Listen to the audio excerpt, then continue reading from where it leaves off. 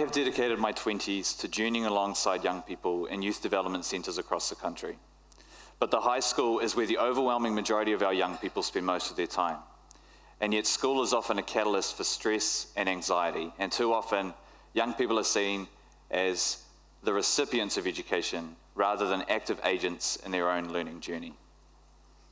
At Zeal, a youth development centre where I spend most of my time, while we support young people to dream and prepare for their future just as a school does, we also respond to who they are right then and there, who they are in the moment, with their inherent strengths as well as their struggles.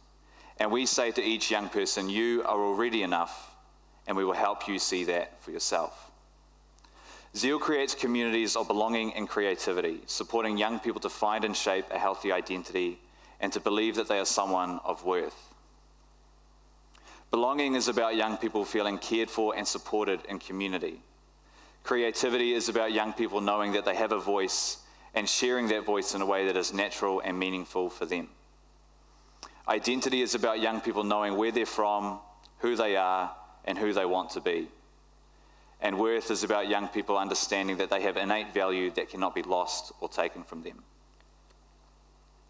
Now, while a young person may be seeing different counsellors, social workers, teachers, and sometimes even whānau or family, we aim to be the alongsiders. We aim to be the consistent adult presence in a young person's life. This kind of relationship truly captures the kaupapa or the ethos of youth development. It's about leading without directing and supporting without carrying. Our young people feel more isolated, stressed, and anxious than ever before. So these relationships are vital to the development of young people in Aotearoa New Zealand. When you look at the stats, you see that we have the highest youth suicide rate in the whole of the OECD. It's a statistic that we hear year and year again, but we're almost comfortable with it. Yet it's a crisis. In our digital age, human connection becomes more vital, more important. And young people need to be connected with someone who will be content in just being present. Someone who will be happy to sit there and play Xbox with them. Someone who will be happy to go along to their soccer match or theatre performance. Someone who will sit there and learn about a topic that they're not necessarily interested in simply because the young person in front of them is all about it. But too often we think that youth development only lies in the in depth discussions, or we feel like we're not making a difference unless we're knee deep in a young person's distress. For teachers, they're not seen as making a difference unless a young person's grades go up. But the biggest and most meaningful difference that I've seen has been in the time taken day by day to listen and learn about the young people in front of us. It has been in the purposeful sharing of lives. As youth workers, we must rely on the strength of our relationships in order to encourage, to challenge, to question, to teach. But teachers are expected to do this from day one. In youth development, time is a resource best spent in the presence of others. And our teachers also need to be given that space to truly build a human connection with the young people in their classrooms. Because chances are they're not getting that connection anywhere else. Not at home, not in their community, and certainly not online. In my time journeying alongside young people, I've heard many words used to describe them. Words like disconnected, problematic, criminal, and even scum of the earth. But in my privileged position in the lives of so many of our young people, I can safely say that if I had one word to describe them, it would be passionate. When you really think about it, when a young person finds that one thing that truly captivates them, their life becomes all about it. If it's gaming, they'll never leave their room. If it's guitar, they'll play it until their fingers bleed. If it's graffiti, you'll see their tag all over the street. And when young people fall in love, it's after the first day of dating. And when they break up a week later, their lives are completely over. I've been there a few times. It's all because young people are deeply passionate with a huge sense of urgency. Young people are growth embodied, and our high schools urgently need to capture that passion and capture that growth instead of suppressing it and pushing it out of our young people. Youth development is tailored to meet the individual needs and wants of young people for collective good, and the high school needs to make room to do the same individual impact for collective good. Like a young person that I'll call Gigi.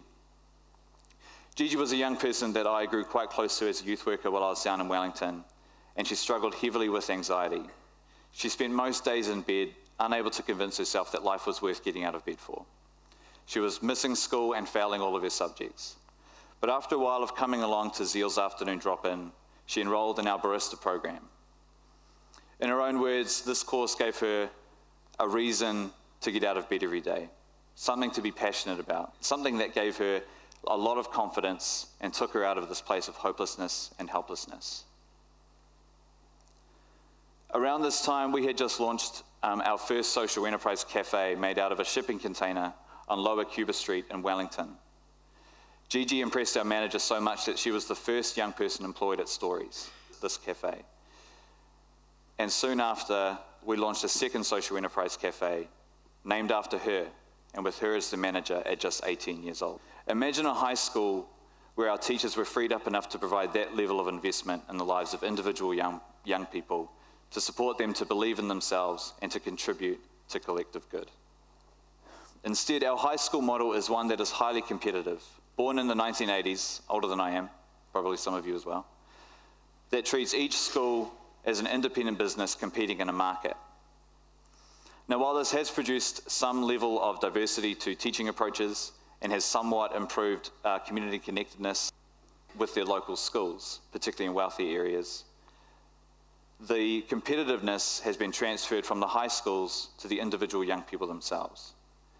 And while this works for some students, it does not work for the majority. Like a young person that I'll call YY. YY was brought into Zeal at age 13 by the scruff of his neck by a police officer, who basically threw him at us, said, He's your problem now, and left. YY would come up to Zeal each afternoon, and I quickly found out it's because school wasn't safe for him and home wasn't safe for him. Over time, we developed quite a close connection, and he would talk to me about his passion for hip hop dance and his love of computer games. But unfortunately, his school life wasn't as captivating as his interests. He struggled with his all too frequent assessments and received little help from his overworked teachers, who each had 30 other students competing for their time. School became such a place of stress that at age 14 he dropped out altogether. And over time, it's meant that he's also stopped coming along to Zeal. The last I've heard of him, he was rolling around in a gang, a place of belonging that took him as he was, but asks him to be someone different in order to keep that belonging. And this is the true cost of our education system. The lives and future direction of our young people are in the hands of our teachers. But their hands are often too full with paperwork or bureaucracy to be able to extend a hand of welcome to the young person in front of them. And this needs to change. The benefits of our 30 year old model have achieved all that they can, and so it's crucial that we take a hard look at the system.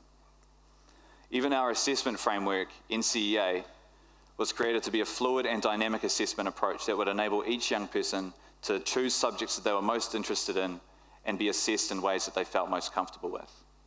But it's stuck in this rigid schooling system that treats each and every young person exactly the same and expects the same results from every one of them. We need high schools that instead respond to the individuals, the individual passions, the individual love of what they do. Inside an education system that believes in every single one of our young people and will stop at nothing to see each and every one of them succeed. Now, I spend a lot of time thinking about education reform, and when I do, it's so easy to look at other countries around the world to see what they're doing, to learn from them. So let's go where every single conversation about educational improvement ends up or starts Finland.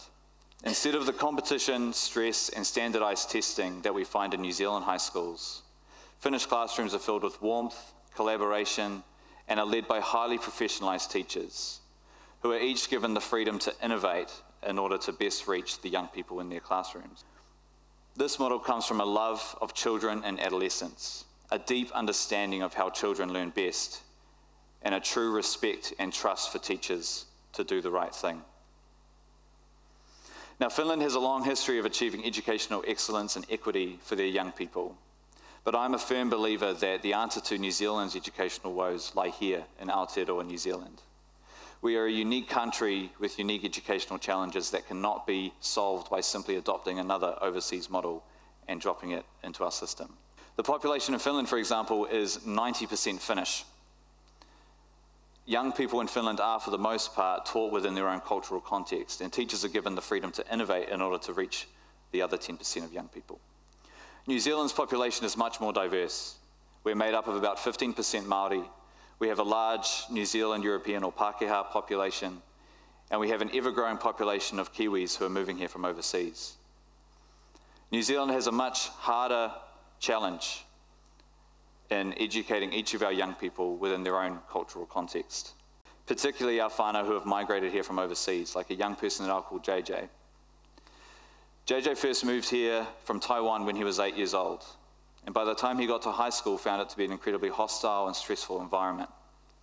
It seemed as though his understanding of culture, his understanding of who it was to be him, was so different to that of the people around him. He no longer felt like a citizen of Taiwan, but he didn't feel like a New Zealander either. And over time, this developed into a heavy anxiety until finally, in year 13, he dropped out of school and started homeschooling because he couldn't handle the hostility and the stress that brought about his anxiety. He first found out about Zeal when his homeschooling provider brought him and a few other students into our space to record the NCEA music internals. He was also an avid photographer and so enrolled in our photography program. But JJ would struggle sometimes to even enter the Zeal building. He'd be stuck outside the front doors having a panic attack. The hostility from his high school had encroached on his personal life so much that he couldn't even engage in what he was passionate about. But soon enough, with encouragement from our youth workers, he began coming along to his course. He excelled. He had his work shown in an exhibition in town. And he was thrilled. He, he, he once told me that often he looks back and feels a little bit annoyed that he didn't find out about Zeal sooner because it became such a home and sanctuary for him and young people like him who didn't feel like they fit in at high school. Now, once JJ had finished his photography course, he started coming along to our all ages events and took photos um, throughout the night. We were then really surprised to find him on stage performing his music in front of crowds. That anxiety when he was surrounded by people that he knew loved and cared about him and who supported him was non existent. And JJ once told me something else about Zeal as well. He said, Every time I walk up the steps of this place, I feel more at home. Imagine an approach to teaching our nation's young people in all their diversity that enabled each and every one of them to say, Every time I walk through the gates of this school, I feel more at home.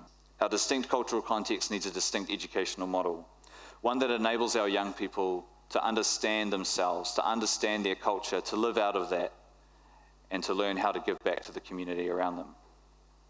Our young Māori, for example, need an education that not only enables them to thrive in our mainstream society, but also to thrive as Māori, to uplift their community and support their whānau in improving their well-being and wellness.